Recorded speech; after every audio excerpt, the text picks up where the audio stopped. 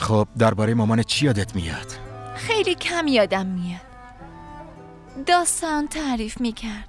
خیلی از داستانش خوشم میومد دلم واسه دستور دادن تنگ شده. باید از من دو متر فاصله بگیری. وگرنه شانس حرف زدن رو از دست میدی. ببین ظرف دو سه روز دکتر باهات عقد می‌کنه. چطور؟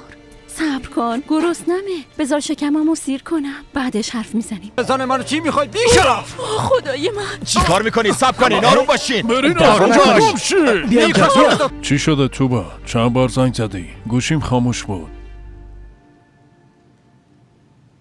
یعنی چی؟ نیست؟